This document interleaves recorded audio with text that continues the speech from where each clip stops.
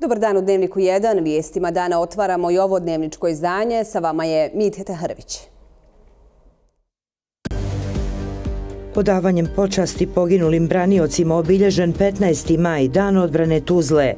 Na današnji dan 1992. formirana prva Tuzlanska brigada. Glasanje o rezoluciji o genocidu u Srebrenici u Ujedinjenim narodima zakazano za 23. maj. Upriličen prijem za učenike koji su na kantonalnom takmičenju projekt Građanin osvojili prvo mjesto. Sutra pretežno oblačno i nestabilno vrijeme s pljuskovima i grmljavinom. Današnji dan prije 32 godine odbranjena je i Tuzla. Događaja na Brčanskoj Malti danas su se prisjećali brojni zvaničnici i građani. Na spomenik poginulim braniteljima na mjestu historijske bitke položeno je cvijeće. Obilježavanje značajnog datuma u novijoj historiji Tuzle nastavljeno je na Slanoj banji gdje je također položeno cvijeće na spomen obilježja i odata počas svima koji život dadoše za slobodu i jedinu domovinu. Gradonačelnicima Tuzle, Jasminu i to je neopisivo. Bila je takva situacija gdje se svako gledao na svakak način sačuvati živu glavu, sačuvati svoju živu glavu, a normalno je da si, da si ovaj, da smo na vatru odgovorili vatrom, jer nikak, ni na kakav drugi način nismo mogli ni podstupiti. Da zna i Beograd i Zagreb da je ovdje branjen multijetski karakter građanskog bića Bosne i Hercegovine. Znači, koliko god je važan 15. maj s aspekta odbrane ovog grada, važno je odbrana prava na život svih građana, svih građana i važno je što je odbranjeno na teritorijalne odbrane koje je pokušala vojska da opljačka čime bi mi totalno bili zatečeni Inako smo bili okupirani. Ali bez tog naužanja teritorijalne odbrane Tuzle Lukavca i Srebnika nema drugog korpusa. Svi sudovi, tužilaštva su pokazala da je Tuzla se branila i da se odbranila. Ali je problem u tome što sem ovih naših 24 građana koji su ovdje ranjeni, trojica poginuli građana i tako dalje, govori da oni 49 koji su tamo evidentirani, neće nikad porodice da prihvate činjenicu da odgovornost za njihovu smrt snosi čovjek koji se zvao Mili Dubajić. Mislim da je to nešto što se mora desiti, ta katarza i da definitivno kažemo nastupit će pomirenje. Mi danas obilježavamo taj veliki dan, historijski dan, jer bi pitanje bilo gdje bi mi danas bili da nije bilo 15. maja u Tuzli. Dužni smo kroz manifestacijsku kulturu, spomeničku kulturu, baštiniti tradiciju, prenositi istinu odbrani Tuzle 15. maja na mlade generacije kako bi oni nastavili da obilježavaju ovaj dan i ono u buduće vrijeme kada nas ne bude. Događaj koji slijedili 15. maju, odnosno scenariji koji se radili u Sjeveristočnoj Bosni u Bijeljini, Zvorniku, Bratuncu, Kalesi i Brčkom, upućivali su na to da se ovdje počine masakre, da se podijeli grad, podijelili se društvo.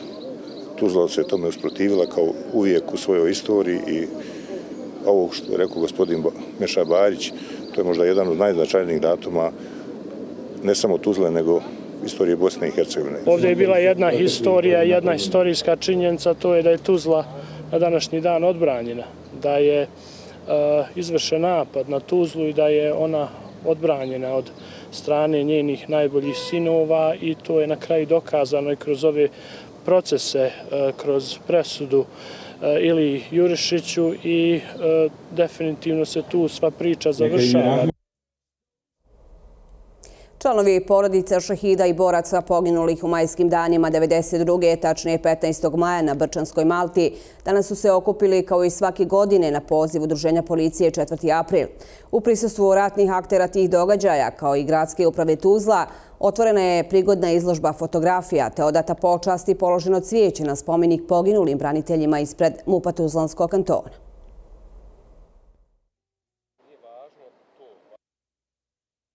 Tog 15. maja 1992. godine na Brčanskoj Malti moj brat je izgubio život. Prvi poginuli policajac, a pored njega tu je i Mahmutović, e, mali Mahmutović i Emir Malohođić, koji je eto, prepoznao ga i pokušao da mu pruži prvu pomoć, tad je i on teško ranjen. Drago mi je da svake godine oni e, uvijek pozivaju porodice poginulih, e, djecu, brinu se nekako ono da se to ne zaboravi, da sjećanje ostaje. Prve e, žrtve u Tuzli su bili policajci, znači šest policajaca je poginulo braneći Tuzlu i Bosnu i Hercegovinu toga dana i hvala Bogu, odbranili su, evo. Bilo je 24 ranjene policajca, ali uspjeli smo u odnosu na mnogostruko jačeg e, agresora i neprijatelja onemogućiti ga da nastavi tu e, što je htio u njegovim ciljevoj namjeri. Mislim da smo svi dužni da se sjećamo njih, da pomognemo njihovim porodicama i da njihova žrtva, njihov patriotizam, e, njihova hrabrost i njihova ljubav prema svojoj domovini nikada ne padne i ne ode u zaborav. I ove godine na Brčanskoj Malti organizirana je mirna šetnja i vjerski pomen za vojnike bivše JNA poginule u Tuzlanskoj koloni. Pomen je održan od 10 do 11 sati. Nakon toga autobusi iz BH entitete RS vratili se se u Bijeljinu, gdje je kod spomen kosturnice poginulim vojnicima u Tuzlanskoj koloni na groblju na pulicama služen parastos. Nakon čega su položeni vijenci i cvijeće uz obraćanje zvaničnika. U svemu je učestvovao ministar rada i boračko-invalidske zaštite Republike Srpske Daniel Legić. Slavna prva Tuzlanska brigada obilježava 32 godine od dana formiranja. Na Paša Bunar u Tuzli položeno je cvijeće ispred e, spomen ploče prvoj Tuzlanskoj brigadi, osnovano je 16. maja 1992. godine. Kroz brigadu je prošlo preko 6000 evidentiranih boraca, te je proglašena slavnom brigadom. Ako posmatrate ovu livadu, 16. maja ona je bila puna dobrovoljaca, apsolutno tu se nije moglo kročiti od njih. Kakav, hoću da kažem, kakav je odziv bio i kakva je želja bila građana Tuzle i ostalih područja sa ovog dijela da brane Tuzlu i brane Bosnu i Hercegovinu. Mi smo tokom rata e, zajednički sve jedinice smo učestvovali u odbrani Tuzlanske regije, Brčansko-Posavske regije, e, Kalesijske, e, do Kladanske i Olovske. Tako da smo na 12 ratišta e, učestvovali zajedno i branili Bosnu i Hercegovinu. Brigada koja je u vrijeme ratnih sukoba učestvovala na ovim područjima skupa sa ostalim tuzlanskim jedinicama. E, brigada koja je dala jedan snažan posticaj svim ostalim brigadama da slobodnu teritoriju proširimo da ona bude što veća i što sigurnija. Predsjedavajući predsjedništva Bosne i Hercegovine Denis Bećirović i visoki predstavnik u Bosni i Hercegovini Kristijan Šmit danas će se obratiti Vijeću sigurnosti UN-a. Šmit je ranije podnosio izvještaj za period od 16. oktobra do 15. aprila za koji je naveo da je bio obilježen napretkom Bosne i Hercegovine ka integraciju u Evropsku uniju, ali i nezapamćenim napadima na opći okvirni sporazum za mir.